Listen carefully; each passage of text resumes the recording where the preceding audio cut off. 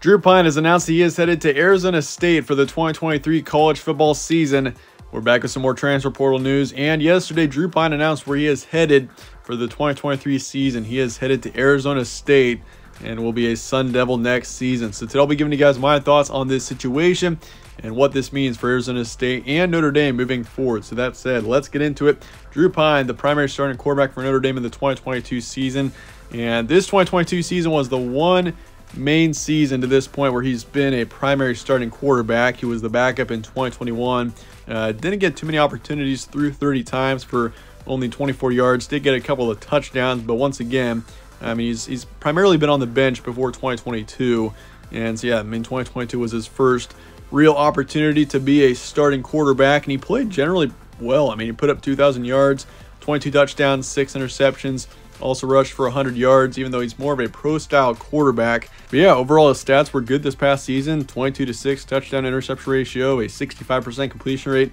This is something to build on for Drew Pyne. And the stat line for 2022 maybe wasn't great in comparison to some of your better quarterbacks, but you got to consider too, this was only his first season as a starting quarterback, and you consider he's got three more years of eligibility remaining. I mean, his ceiling is very high going into next season and going into the future. This is exactly what Arizona State needed here. You got a young quarterback, a quarterback that showed potential in 2022. I think this is, yeah, this is huge for uh, for Arizona State here, being a team that's obviously in a rebuild phase right now. Herm Edwards was just fired this past season. Things didn't work out with him. Kenny Dillingham, the new head coach, and this is a huge land for him and for this team.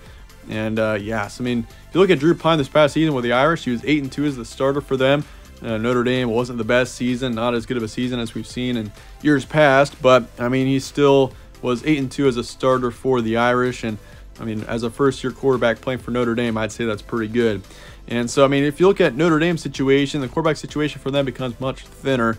Tyler Buchner is currently the top quarterback in the room. We're going to talk more about Notre Dame in just a second and uh, who potentially could be the next quarterback for Notre Dame if they go to the transfer portal. But yeah, for Arizona State, once again, this is exactly what they needed going into next season. With a new head coach, Kenny Dillingham, things are, I mean, it's 2023 could be a another challenging season for Arizona State. I think that's uh, something that many Sun Devil fans and around the nation are thinking right now, and it's rightfully so. I mean, Arizona State, this team was not good in the 2022 season, one of the worst teams in the Pac-12 for sure. And so moving forward into 2023, I mean, this is, yeah, this is huge for Arizona State for sure.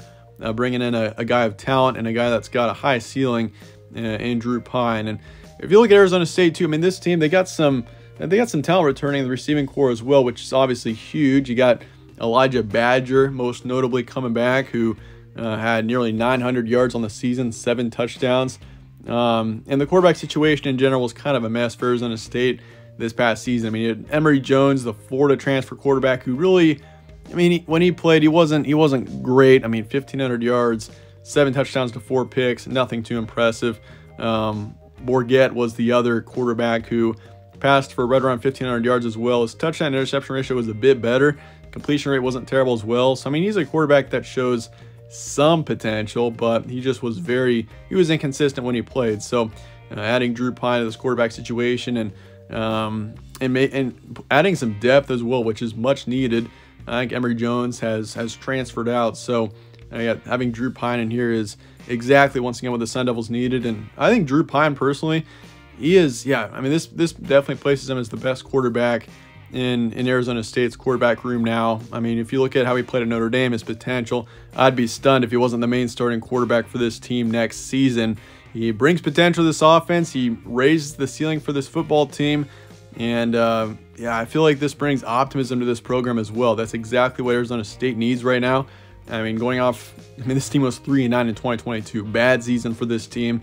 But going into next season, there's some more optimism now that this team, you know, if they can get the offense together uh, under a first year head coach, I think it's a possibility we see this team at least get to a bowl game next year uh, with this with this move. And once again, you got to consider the key receivers returning, their top tight end as well. So I think this is yeah, this is huge for Arizona State. But for Notre Dame, talking more about them and and what this means for them, the quarterback situation now becomes much thinner. Tyler Buchner, currently the top quarterback in the room now, didn't play too much in the 2022 season. Uh, but he's a quarterback that, I mean, he's got some experience now. He's uh, he hasn't really he hasn't played full time, but now that he's he's been in the room for a little while, he's got some experience. I wouldn't be surprised if he was the he was the starter going to next season. And I mean, if Notre Dame doesn't get another quarterback in the portal, he is obviously going to be the starter going to next season. But I honestly would be very surprised if Notre Dame didn't land a quarterback from the transfer portal at some point. I, I think Notre Dame's going to be going for quarterbacks, and the first name that kind of comes to mind would be Grayson McCall. He is the Coastal Carolina, uh, former Coastal Carolina quarterback who actually had some good success um, with uh, with with Coastal Carolina. And so looking at him, he kind of fits this offense. I mean, he's put up nearly 3,000 yards in his past three seasons with Coastal Carolina. He's had a lot of success, does not turn over the ball. I mean, his, his touchdown interception ratio was 24 to 2 this past season, and he's only thrown eight interceptions as a full-time starting quarterback in the past three seasons. Only eight. So I think he would be honestly probably the best case scenario for for Notre Dame if you can land him. Uh, he is an excellent quarterback. He used to run the ball a lot more than he does now. He only ran for 200 yards in the in the 2022 season, but I think he totally fits this offense, and that's probably the quarterback that makes most sense for Notre Dame. DJ Uiagalelei, we all know him, the Clemson quarterback, former Clemson quarterback. I mean, he's Clemson had trouble with him, and um, and having having a lot of national success with him, being a big contender. But he's still a great quarterback. I mean, he's he's still he's still a guy that's that's got some potential. I think leaving Clemson and finding a new start could be exactly what he needs right now, and I think he's also a good option. Uh, something, I mean, honestly, McCall and Uiagalelei are the are the main two that I can see happening right now. But Kedon Slovis is kind of in the background. I don't think that's going to happen but that's a possibility. You know, Kedon Slovis kind of being in the same area. Notre Dame is an independent, but Kedon Slovis coming from the ACC, it makes sense, um, and especially uh, it makes sense for this offense, even though he's a full-time pro style quarterback. He does not run the ball at all. So it's very interesting for Notre Dame now. We'll see what moves the Irish make. And But yeah, for Drew Pyne and Arizona State, this is obviously a huge deal. But that said, let me know your thoughts and comments below on Drew Pyne and Arizona State. And I appreciate you guys watching as always. Stay tuned for more from All Sports Central. Catch you on the next one.